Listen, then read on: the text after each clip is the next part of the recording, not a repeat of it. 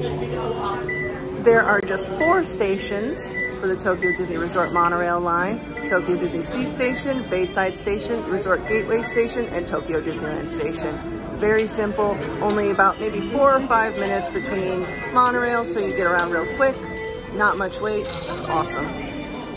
If you're taking the monorail at the Tokyo Disney Resort, you need to purchase tickets. They can be purchased in the station. If you don't have one of the Japanese credit cards, or uh, I think it's called a Suica card, uh, then you need to use cash.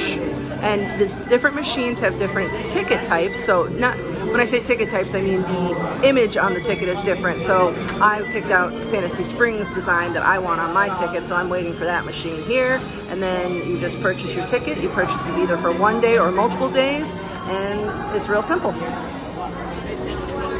All right, I want the Fantasy Springs design. I'm going to change the language into English. I am one adult, and I just need a one day ticket. That is 700 yen. And then you just enter your cash here. Yeah, it's not flat, sorry. There we go. Take my change, and take my ticket. Easy. And I would like a Fantasy Springs Hotel design monorail ticket, so I'm gonna purchase this.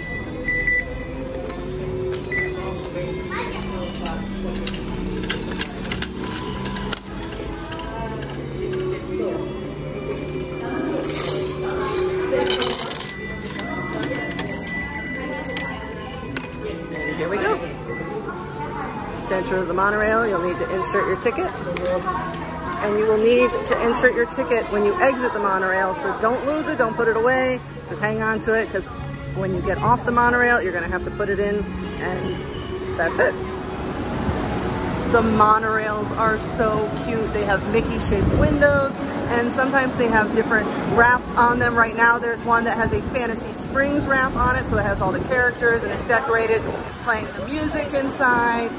The little handles are Mickey's. It's very cute here.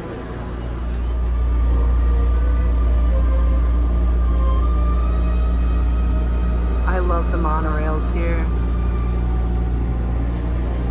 They're so convenient.